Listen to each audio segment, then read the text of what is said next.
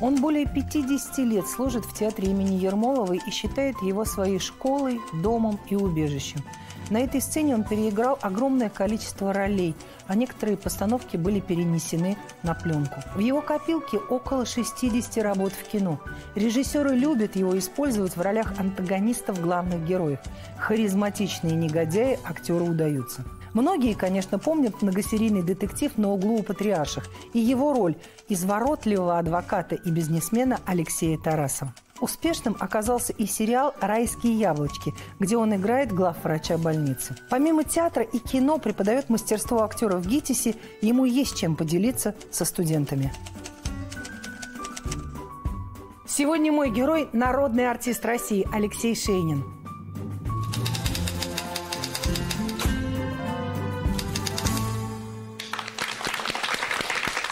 Здравствуйте, Алексей Игоревич. Я очень рада вас видеть. Спасибо вам большое за то, что вы сегодня мой герой. Это правда? Это не это лукавство? Правда. Это не лукавство. А вот смотрите, что я как зритель знаю об Алексее Шейнине, да, что это человек совершенно не советской какой-то внешностью и с лица не общим выражением. Это не имеет отношения к актерству никакого, я так думаю. Это имеет отношение вот к природе вашей, к корням, к родителям, к месту, где вы выросли. Я вырос в Ленинграде и родился я там. Я всегда говорю, что я вырос в Ленинграде, потому что э, вот эта вот страсть менять название, Волгоград, у меня папа воевал за Сталинград. За Сталинград, да. И все санкт-петербуржцы давно умерли, и там другой народ живет сейчас. Там живут ленинградцы, которые пережили блокаду. И родители у меня замечательные. Мама у меня была один из ведущих и самых красивых адвокатов Ленинграда, коллегии адвокатов. Папа был полковником, мама ушла рано, в 63 года.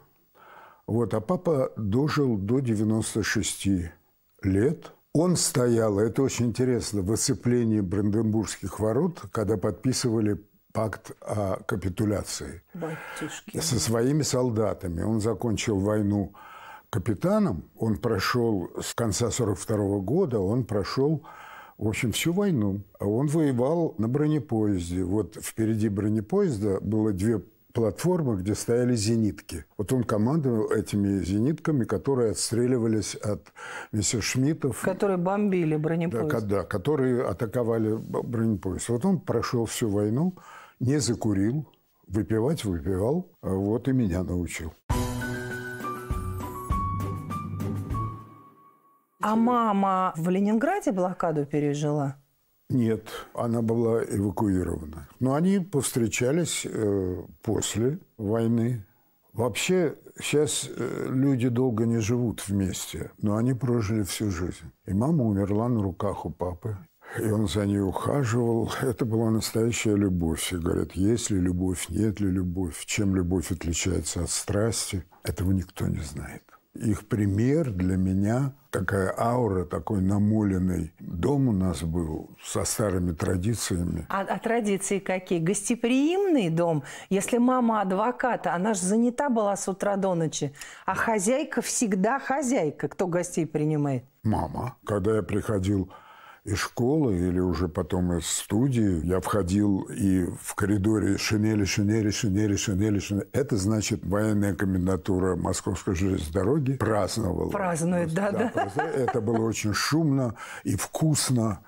И когда я учился в седьмом классе, папа сказал, хочешь выпить? Я говорю, хочу. Мама накрыла стол, была поставлена посольская водка и с хорошей закуской. И когда мы выпили, папа сказал, захочешь выпить с друзьями, никаких парадных, никаких портвейнов, приходите домой, и Я один раз пригласил, а потом стало неинтересно, потому что это Разрешено. Было... Да. да. Мама адвокат, человек, который профессионально защищает, старается помочь. Вот она и в жизни такая была, она всех да. защищала? Да, она выигрывала все дела, потому что все судьи были в него влюблены. Она была очень красивая, она была вот если вам нравится Татьяна Самойлова, да. вот она была такая же раскосая, вот она, но это она уже в возрасте. Взрослая, да. да. Очень симпатичная. Вот, а мне тут 19 лет. В Москву я приехал в 22 с половиной. Когда я поступил в театральный, причем не в институт, а в студию Ленинградского ТЮЗа, дома было горе горькое. Конечно. Папа военный, мама адвокат, а сын клоун. И еще э, почему не высшее образование? Потому что мне еще оставался 11 класс. Я поступал везде. Меня брали в Москве Масальский, Головков, студию МХАТа. Но у меня не было аттестата зрелости. Мне еще год надо было учиться. Да. Меня брал ЗОН э, в Ленинградском театральном. А студия ТЮЗа, она была, ну, не высшим, поэтому трехгодичным. Ее закончил Юра Тараторкин, а следующий курс был мой. А вы почему из школы-то ушли? Я не ушел, я ее закончил заочно. Так хотелось, вот в эту Хотелось. профессию? Конечно. Театр я очень любил. Когда папа был военным комендантом Московской железной дороги, билеты, Билеты билеты, не во до- все театры достать. Ленинграда я имел контрамарки, я ходил, смотрел, все. Я подружился с сыном Евгения Лебедева, с Алешей. Ходил на репетиции уже потом, когда стал студентом Георгия Александровича. Товстоногого. Да, это меня поразило. Он входил, и все службы, как в операционной, были готовы исполнить любой его каприз, любую его задумку. Он не тратил нервы на то, чтобы на кого-то наехать, кого-то отругать. Все были на месте. Вот такой театр он сделал. А меня пригласил в театр после Карагодского, которого я элементарно предал. Потому что, когда я заканчивал студию, он мне сказал, оставайся в ТЮЗе. Юра будет играть Юра – это Георгий Тараторкин. да, ну он был Юра. Он будет играть э, Онегина, ты будешь играть Ленского, ты будешь играть Человека-невидимку, репетировать. Но меня познакомили с Акимовым, он мне предложил роль Дон Жуана Байрона, которую играл такой актер замечательный Воропаев Геннадий.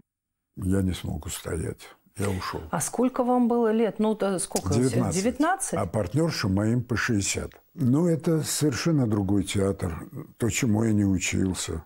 Акимов приходил на первую репетицию с Мольбертом, и там было много-много-много рисунков. Уже с мизансценами. Он придумывал дома спектакль. А потом он просто как бы вот так э, расставлял, и, и актеры были там, конечно. И это было счастливое время. Потом, когда я сыграл Дон Жуана и переехал уже в Москву, меня пригласил он к себе, Товстоногов. Я уже знал, что я из Москвы не уеду. Я влюбился в Андреева. Владимира Андреева, Да, режиссера театра я- на Малой Бродной. Нет, на Ермоловой. А, Ермоловой, да-да. Ну, как не прийти? Пригласил. Я приехал специально, пошел в кабинет. Там был какой-то какой воздух другой.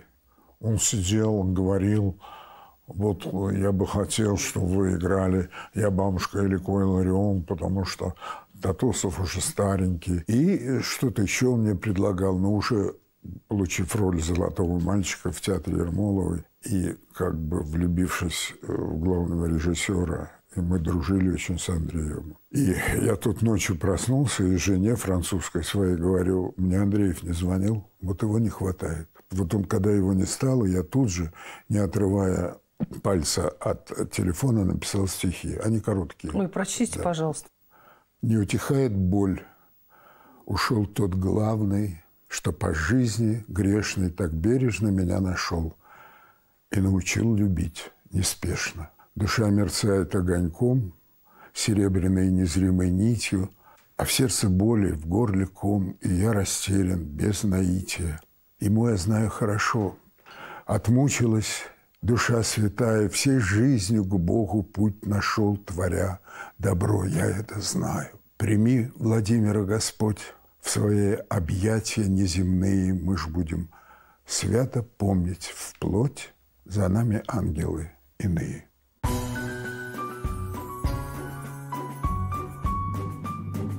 Если вспоминать про конкретно обучение Алексея Игоревича, то он невероятно располагает к себе как человек в первую очередь. Он всегда на одной волне э, со своими студентами так себя ведет, как будто бы ему ну, меньше, чем мне. К нему можно всегда обратиться, спросить совета на любую тему. Когда что-то не получалось конкретно в каком-то в том или ином э, эпизоде, вот он умел как-то вот двумя предложениями как-то так вот доступно объяснить. Он ну, невероятный психолог в этом плане, конечно. У него это получается очень органично с помощью юмора. Юмор – это вот талант такой, можно так сказать, который вот он раз просто сказал, и все, и все заиграл, и все пошло. Я сейчас э, вспоминаю такой случай. Мои однокурсники пришли с Алексеем Игоревичем поздравить нас после там окончания спектакля. Они такой номер невероятный просто поставили. В тот момент учили цыганские танцы, и вот у нас в театре станцевал э, цыганский номер. Очень классно было, очень классно. Ему спасибо большое за это.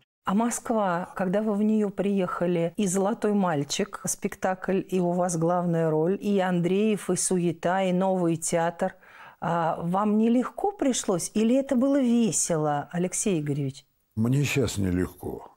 Это понятно. Это нелегко, во-первых, потому что возраст. Я спросил у своих студентов, вы знаете, что такое старость? Они говорят, да, Алексей Игоревич, знаем, старость – это когда любая молоденькая девочка кажется красивой. Это так они мне сказали. Так сказали. Я говорю, нет. Старость – это когда все время хочется спать. И они тут кричат, нам тоже хочется спать все время. Я говорю, так вы ночью делом занимаетесь, да, а да, я и да, ночью да. сплю. Угу. Вот. Было весело. Я понимал, что расстраиваться нету смысла, потому что ведь я же не червоня, чтобы всем нравится, правда? Поэтому всякая неудача – это дело вкуса того, кто эту неудачу мне устроил. Даже сейчас я, набирая студентов, понимаю, что это мой вкус. А кому-то mm они могут не понравиться.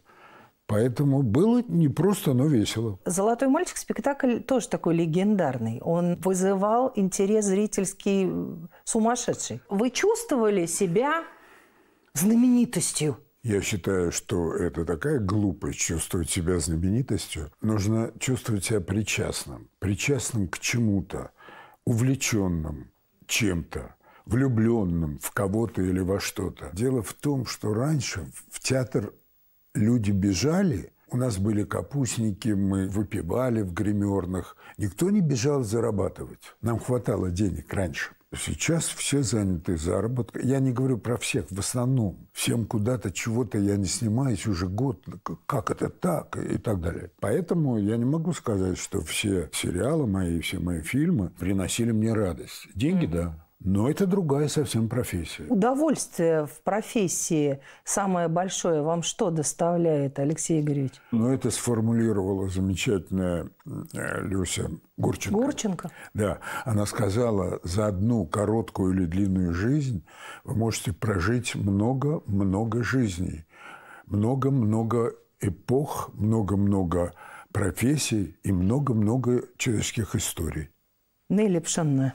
Мне он поначалу казался таким, знаете, самовлюбленным. Он приехал покорять Москву, он играл этого золотого мальчика. Зал визжал. Я так думала, мало ли, тоже мне такой победитель. И я, как все женщины, которые были падки на него, я тоже пала. Если серьезно говорить про него, так вот уже анализируя прошедшую жизнь, он удивительно порядочный человек. Щедроты необыкновенный.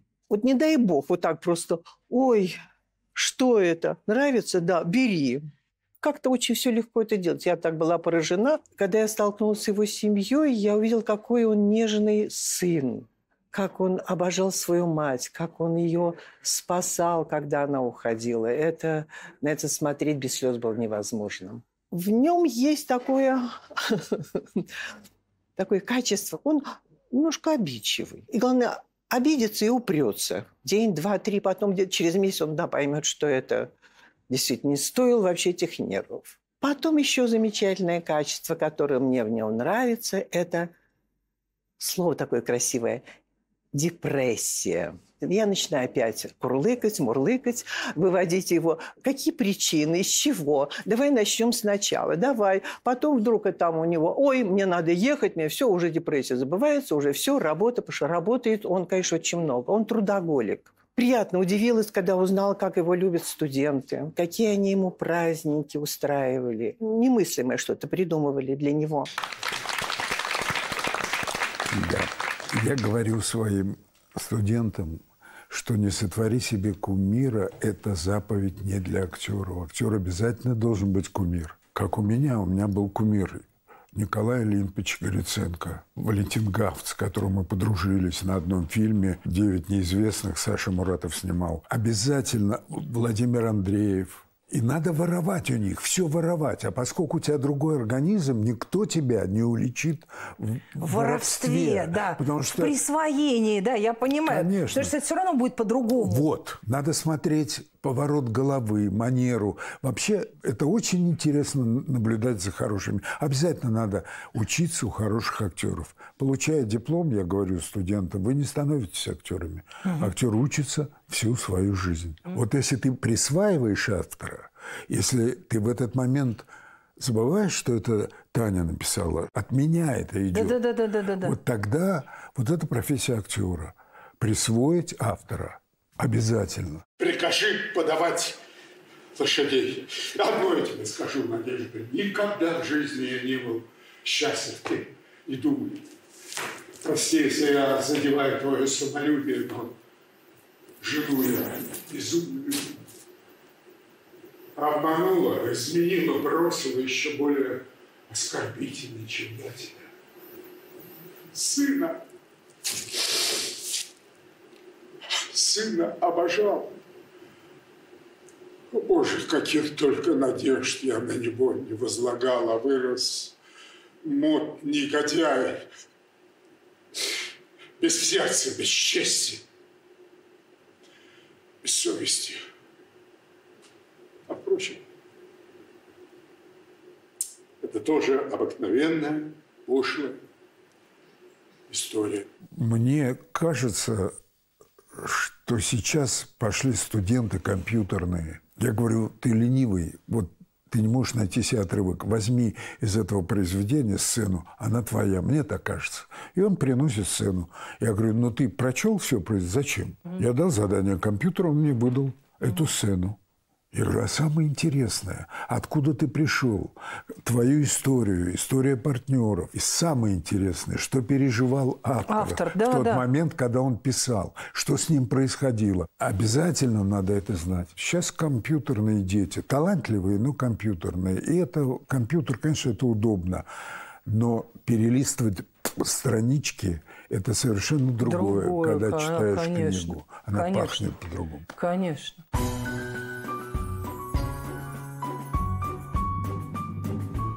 Я с ним работал много. Должен сказать, что у него достаточно широкий диапазон. По молодости лет он был героем такого лирического плана. Но вместе с тем он был и характерный герой. Местами даже мог стать отрицательным героем.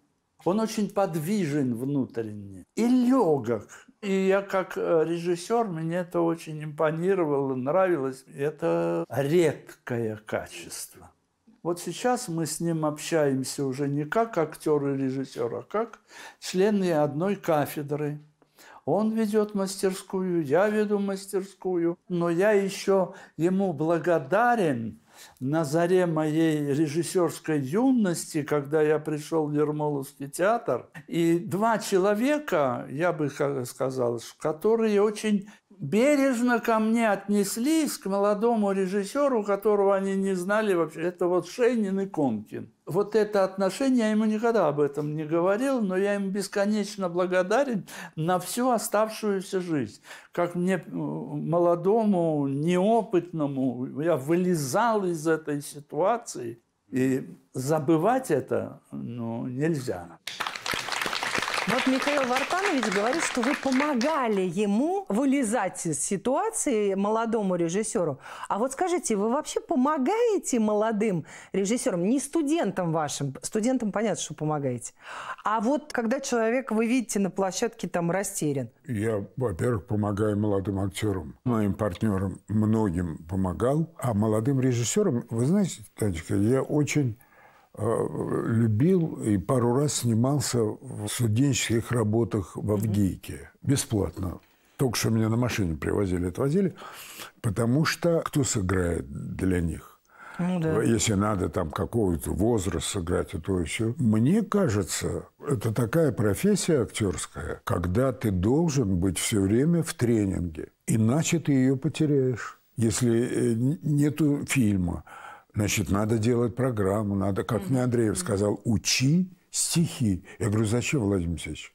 Учи стихи. Во-первых, не будет Альцгеймера. Все время учи стихи, они пригодятся тебе. Что я и делаю. Если не пишу, то учу. Это очень хорошая профессия. Все мне говорили, эта профессия не мужская. Согласен. Потому что мы ревнивы, подозрительны, как женщины. Mm-hmm. Актеры ревнивы очень, обидчивы. Это все женские качества. Да, это правда. А что делать? Такая профессия. Но зато твой организм все время проживает за одну короткую жизнь твою жизни многих-многих-многих людей, профессии многих-многих людей. Больше того, разные эпохи. Ну, о чем тут говорить? Это правда. Татьяна Ухарова. Вот так люблю говорить про таких хороших людей. Как видишь, улыбаешься сразу. Во-первых, артист хороший. И, конечно, как человек. Он как появляется, как вот солнышко. И совершенно без возраста. У него блестят глаза. Красивый очень. Сейчас еще лучше. А в театре партнер просто замечательный.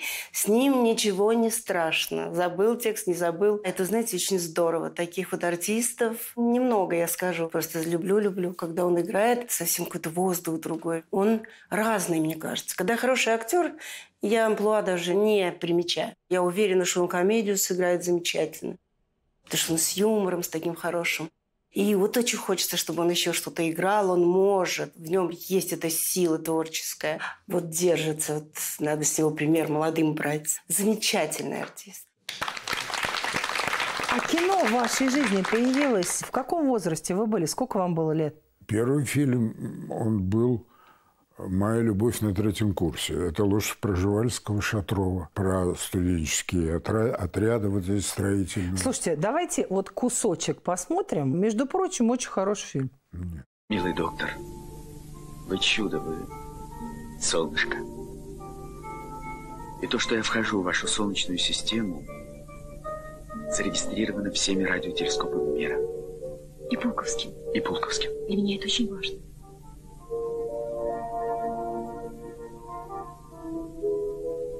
Есть другая Таня там, в Москве. Нам обоим будет погано, если я наплюю на это. Ой, командир. Ну, а как же чувство юмора? Или глухо, как в танке? Милый доктор, я глупый, порочный, отвратительный тип. И с юмором у меня глухо, как в танке.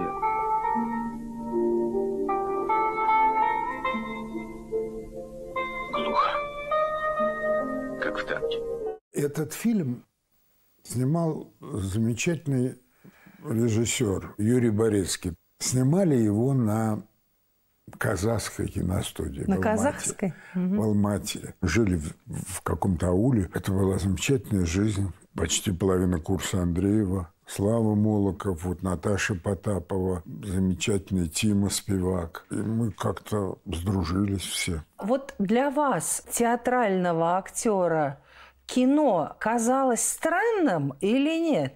Нет, это грань профессии. Почему? Кино дает очень много. Кино дает возможность что-то по блату получить. В этом нет ничего плохого. Ничего плохого. Но э, главное этим не злоупотреблять. Главное понимать, что это все проходящее. Но в основном я снимался только в детективах. Слушай, а что ты все время на моей территории возникаешь? На твоей? Ишь ты, пуп земли. Я возникаю там, где мне нужно. Короче, везде. Что ты не слышал? Потому что менты всюду нормальные, занимаются своим делом.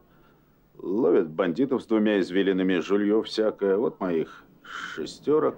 Я не в претензии, они делают свою работу. А ко мне стало быть в претензии? К тебе в претензии, потому и позвал. Выкладывай. Чего ты на рожон попер? Умные люди говорили тебе не лезь? Да. Чего добился? Сам знаешь, одни неприятности. Ха, неприятности. Легко отделался. Ну вот смотрите, вам не было скучно играть э, лощенных злодеев? Нет. Лощенных злодеев не бывает. Они все люди. Главное понять мотивы, почему это происходит с человеком. Подлецами не рождаются, а рождаются все маленькие, красивенькие, хорошенькие, подлецами становятся. И когда говорят, это дурные гены, не понимая этого. Ну, даже зверей дрессируют. Да, конечно. Ну, так вот. Поэтому главное, в чьих руках, главные примеры, главная любовь вокруг тебя. Но играть э, положительных героев не так интересно. Потому что, когда ты играешь отрицательно, когда ты играешь, там надо найти мотивы, чтобы это не было ходульно, чтобы это не было, как раньше играли фашистов в кино. Там, Да, да, да, да. Вот, чтобы это было натурально, чтобы они были достойны сострадания тоже. А как? У каждого своя правда. А иначе это э, скучно. Вот в театре у меня другая судьба. Там я играл только положительных.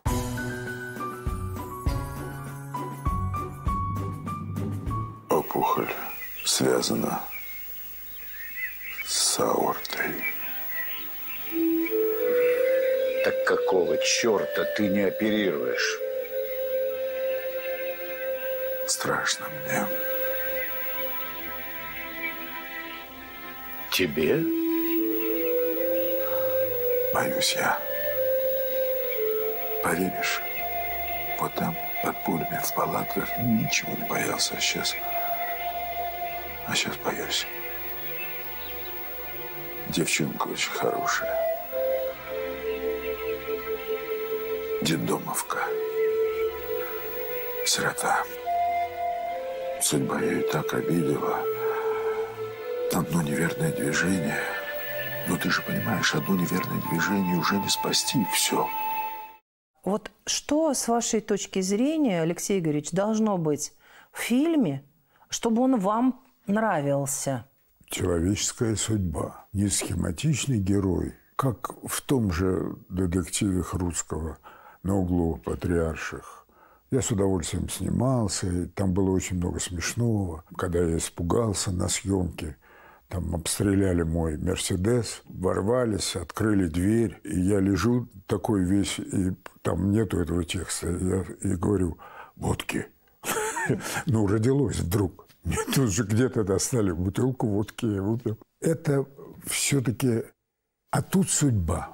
Замечательный па- партнер Леня Кулагин. Замечательный. Мы подружились очень. Это долгий фильм был. Три фильма. Тут была судьба. Он академик Кулагин, а я работаю в таком маленьком городке в больнице. Но делаю сложные операции. Оперирующий врач, да, да. Да. И вот эту девочку, которую я вылечил, мы усыновили. Она оказалась сволочью потом. И из-за нее я в конце... Да, да, да. Ну, это не важно. Важно, что тут есть какая-то история человеческая. Неординарная, интересная, которую надо оправдать. И надо включиться. Профессия грандиозная. И не хочется стареть. Вот что. Я понимаю, конечно. А Лариса Ложина? Как ни странно, Леша с возрастом становится все интереснее и интереснее.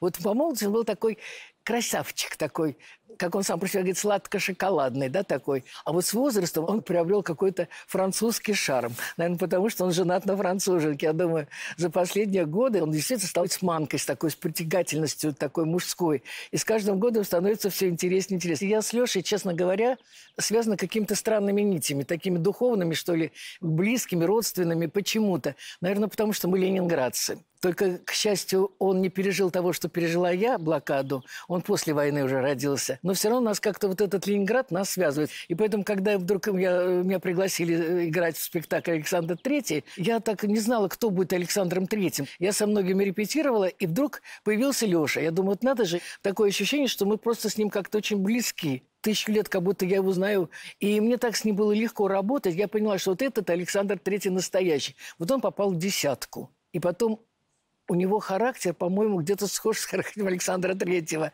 Вот он очень добропорядочный, он умный, он с иронией, с юмором. Работать с ним просто великолепно. Он, конечно, артист театральный, он очень хорошо чувствует сцену, он чувствует партнера и очень такой который влезает в самый внутрь сути. Вот он, если он Александра Третьего делал, то наверняка про него все прочитал и все прекрасно знал.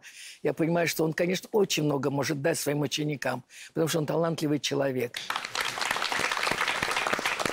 Вот, Алексей Игоревич, об учениках хочу спросить. Кроме того, о чем вы сказали, что нужно быть внимательным и трудолюбивым для того, чтобы сыграть сцену, которую вы, вы, вы выбрали, что вы еще им пытаетесь объяснить, этим ребятам компьютерным? Ну, я стараюсь, чтобы на наборе, чтобы они были талантливы. Талант – это неощутимая вещь. Иногда талант просыпается очень поздно, скажем, Смоктуновский где-то в 37-38 лет он вдруг выстрелил, хотя Фарбер уже сыграл в «Солдатах». Это, как мне говорил э, Всеволод Якут, подожди, надо уметь ждать, все у тебя будет.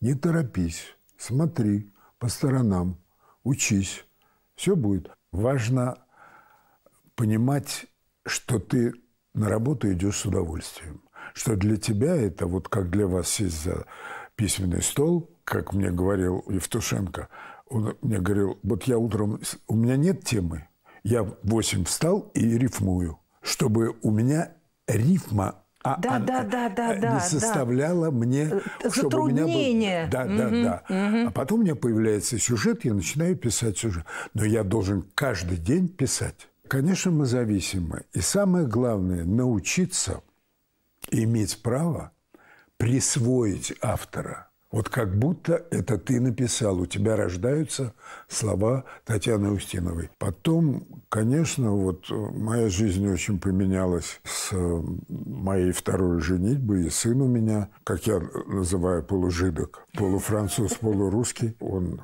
архитект. Слава богу, что он не пошел в актеры. Mm-hmm. Вот он, Симпатичный парень. Да, но только пузо растет. Для них есть это все. Для них стол – это все. Он замечательный.